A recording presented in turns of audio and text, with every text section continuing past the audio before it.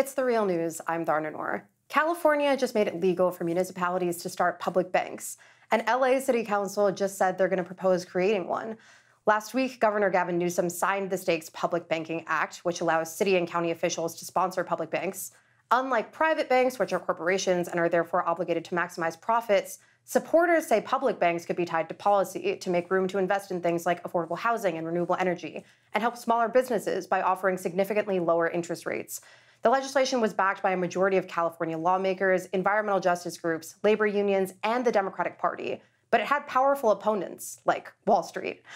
With that big hurdle cleared on Monday, Los Angeles' city council president said he'll be proposing establishing the city's first public bank. Now joining me to discuss this is David Jette, who is the co-founder and legislative director of Public Bank LA. Thanks so much for being here, David. Uh, thank you very much for having uh, me. Uh, so, could you just uh, start by explaining how exactly this bill, it's Assembly Bill 857, uh, works exactly? So, how, how did this get proposed in the first place? Um, and what exactly does it allow California municipalities to do? Right. Um, well, the bill itself uh, was put forward by uh, Miguel Santiago and David Chiu of Los Angeles and San Francisco, respectively. Uh, these two legislators uh, were brave enough to sign on to a bill that. Um, that had been uh, developed by the California Public Banking Alliance, uh, a coalition of city and county level public bank uh, advocacy groups, grassroots groups like uh, like Public Bank LA um, uh, here in LA and uh, East Bay. Uh, public Bank and, and SF Public Bank in San Francisco. Um, this was a, a, a, piece of legislation that we devised as a way to get past some of the hurdles, especially the legal hurdles, uh, but also some of the sort of classification and registration issues of public banks. Um, that we were finding in our city efforts. So, uh, when a city like Los Angeles looks into whether or not they can start a bank, uh, like we did here in LA, uh, there are uh, you know limitations on city governments. There are limitations on banks themselves that cause certain conflicts in law. And AB 857 clears some of those paths. It defines public banks as purely publicly owned entities, not as public-private partnerships or anything like that. Uh, and it also limits their activities to be um, for uh, a specific social purpose and uh, in a way that, that ensures that they're good stewards of public money. Uh, at its heart, it sets a framework for what cities uh, should do and can do when it comes to starting their own banks. And because of that sort of democratic control, it makes a lot of sense that you all had a pretty broad coalition that backed this effort.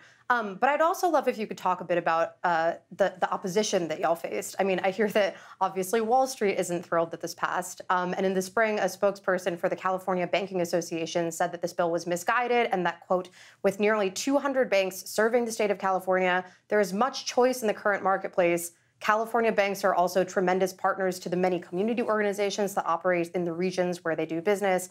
Uh, and when the bill was in committee, the California Association of County Treasurers and Tax Collectors came out against it too. Um, they said, quote, this legislation creates a false sense of hope for proponents who have been repeatedly advised that county pools cannot be used for these purposes and that critical statutory protections of local dollars cannot be lightly dismissed. Could you just respond uh, briefly to these critiques that this was uh, mis- misguided or unnecessary in some way?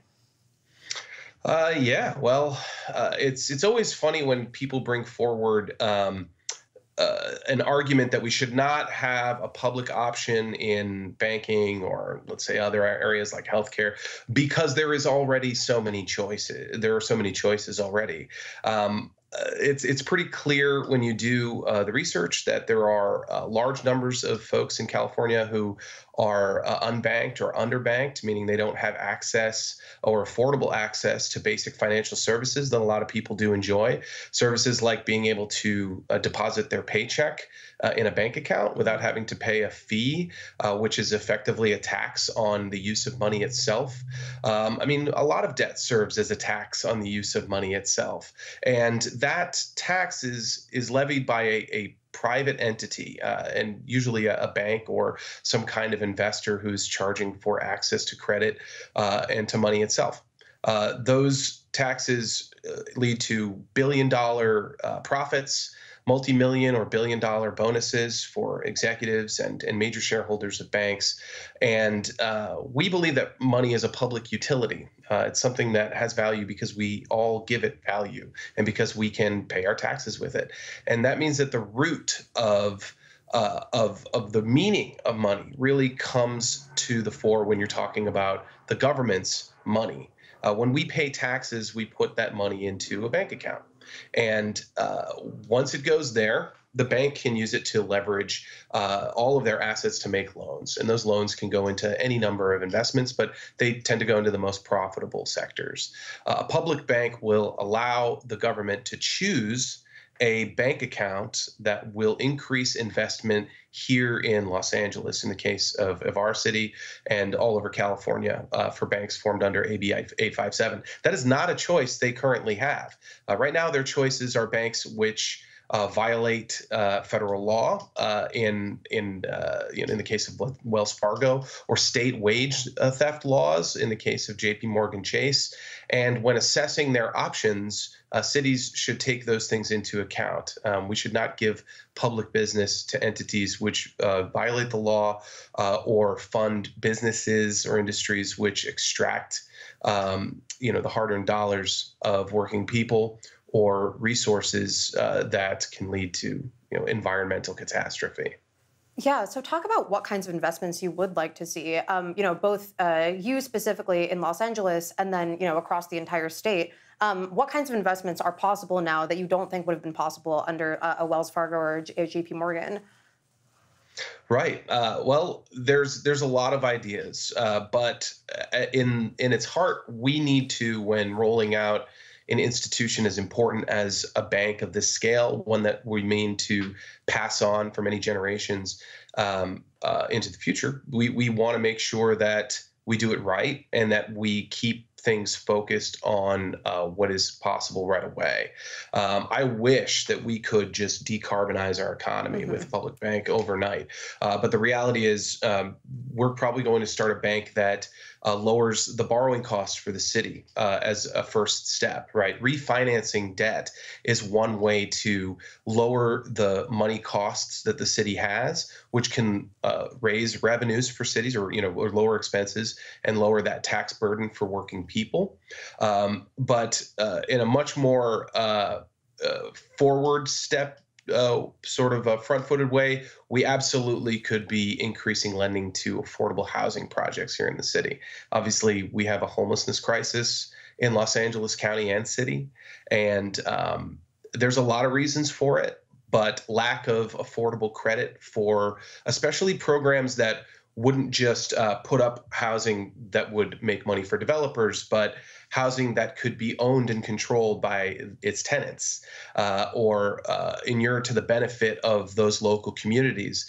Um, banks don't like lending to those projects quite as much because you know, there isn't some large developer that they can underwrite in order to lend that money. Right. But a public bank can look at its people as a worthy borrower. Uh, it has a lot more touch points with regular citizens and with local institutions like neighborhood councils and things like that, where it can be a lot more imaginative in the lending structures that can emerge. So uh, when you're talking about a, a, an affordable housing project, you could have a community land trust, borrow on a 50 year mortgage mortgage with a very, very low rate with the explicit purpose of keeping rents low. These are the kind of financial structures that a public bank makes possible. Yeah, it sounds like the sort of two um, big priorities that have come out of this movement are um, that move toward more affordable housing in the face of such a huge homelessness crisis, and then also financing the transition away from fossil fuels. That also seems like kind of the other uh, biggest priority that's been uh, mentioned the most. Um, which I mean makes sense because these kinds of uh, public banks, like nonprofits, are you know accountable to boards. Um, but the only public bank in the country right now is the Bank of North Dakota, which was established way back in 1919. And in 2016, of course, that bank lent millions of dollars to local law enforcement to fund their infamous uh, violent response to protests around the Standing Rock Reservation uh, against the Dakota Access Pipeline. So talk about how Californians can hold these public banks accountable and really make sure that you know that the things that are being financed are things that benefit uh, most people in California and and uh, more broadly the nation and the world. Mm-hmm. Yeah, the Bank of North Dakota is obviously a, a very interesting case and uh, and one that we look to very frequently in terms of finding an American perspective on what a public bank might look like. But we also, when we set out uh, on on you know helping to craft AB 857 and supporting it in its way through the legislature was to prevent uh, the state and uh, frankly you know some of the larger let's say executive offices uh, in the state from capturing that process and trying to make this purely a state bank uh, one that's ruled by you know a particular board of appointed officials or the, even the governor themselves uh, the way that it would be in North Dakota. Uh, we wanted local and municipal public banks because they're, we think they're going to be a lot more responsive to democracy uh, and to the needs of regular people. Right? City Hall deals in potholes. Uh, they deal in property taxes. They are necessarily on the ground, and in the case of LA, on a lot of frontline communities in terms of climate change and economic inequality. So our job through the writing of the bill was to make sure that we stayed independent of those uh, efforts, and we we did. There were no paid lobbyists on our side pushing this through. Uh, we never received any advice or or money from real estate developers or um, or any kind of energy company uh, or even even nonprofit financials. Right, this is a grassroots uh, a grassroots effort, and it has to stay that way. Um, we are going to work really hard here in LA to make sure that the selection process for the experts that help formulate a business plan are chosen from our community as much as possible and have the best interest of that community at heart. And that's going to go all the way through the selection of executives, board members, and the loan portfolio that this bank eventually adopts. That credit policy needs to be politicized, it needs to be put in front of everyday people and that's how you're going to keep it accountable not through rules or through choosing the perfect bank president by but by exposing those inner workings on a constant basis to sunshine so obviously, you're working on creating a public bank in Los Angeles. Uh, LA Assembly member uh, Miguel Santiago was a joint author of the state's Public Banking Act. On Monday, LA City Council President Herb Wesson said that he will be filing a motion to establish a public bank in LA. Uh, and I know that there's also similar uh, efforts underway in San Francisco, for instance, uh, and that this legislation removes a big hurdle for uh, you know these municipalities. So what actually has to happen now to create these public banks, uh, and and what else are you expecting to uh, see along the way in terms of you know pushback? Well, here in LA, um, our city council president Herb Wesson just announced that the city uh, will consider and, and hopefully pass uh, an RFQ, a request for qualifications, for um, sort of a quarterback in the in the city council's office to lead uh, what will probably be the formation of a business plan and an application to the Department of Business Oversight, which is the bank regulator here in California.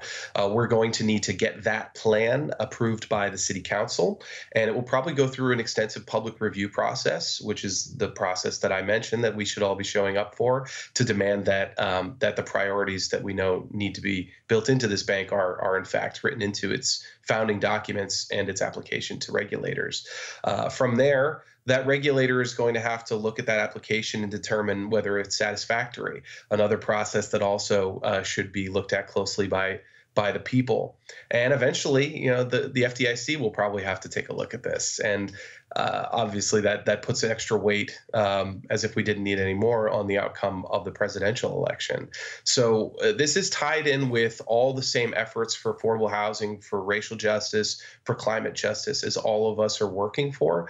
And we need to make sure that public bank uh, public banks are on the lips of everyone that is out there talking to uh, voters and to activists to make sure they know this is coming down the pike, especially if they live in California. And if they live elsewhere, you know, have your local legislators talk to uh, Assembly Member Chiu and Santiago, have them call us and and get a bill like AB 857 moving because in the next five years we're going to see uh, some of these bank models to follow. We hope that we do well for you so that you have something to copy and, and can succeed. Yeah, uh, so I, I, guess I want to finish up by asking you about, you know, how you think that this could sort of lay the groundwork for other places. Um, you know, New York City has a public bank coalition; they're pushing for similar kinds of legislation. Um, there's other, you know, sort of coalitions that have popped up in in D.C. and Seattle. How do you hope that uh, this could influence the fight for public banks outside of California? Yeah, well, a win is always good for everyone on this side, right? And and victory has many mothers. Um, so I think uh, just the legitimization of public banking in this century uh, is a huge step. Um, this the fact that we got through the banking and finance committee in two houses of a major state legislature, the the local government committees, um, uh, right? All of these experts, right? Legislative experts signed off and said that what we're doing is prudent. And over time, I think that the treasurers are going to come around and see that our proposals are in the best interest of the public and and you know they're working for that same thing. And eventually you know even some members of the California Banking Association are going to see that increased economic growth is good for their businesses right? And you know frankly, this bill limits public banks from competing with them too much. So they're going to have a pretty valuable new partner, especially those credit unions and, and community banks that actually care about their their neighborhoods and, and the pe- the places where their employees and their uh, customers live. They're going to have a new partner that they can work with that doesn't want to steal their customers and wants uh, their local economies to grow. And eventually they'll be for it. And eventually, eventually, they'll think it was always uh, meant to be, and uh, and people will act like, well, of course, public banks exist, um, but that only comes from everyone kind of uh, working together and trying to find realistic ways forward that can be sustainable. Yeah, can't wait till the day that the California Banking Association says this was their idea all along. Um, yeah. Well, as you uh, you know continue to uh, you know fight for uh, the creation of the public bank in Los Angeles, and uh, you know we continue to see how this legislation unfolds now that it passed. Uh, we'd love to talk to you again, David Jette, co-founder and legislative director of Public Bank LA. Thanks so much for being here. Ah, thanks, Steve. And thank you for joining us on the Real News Network.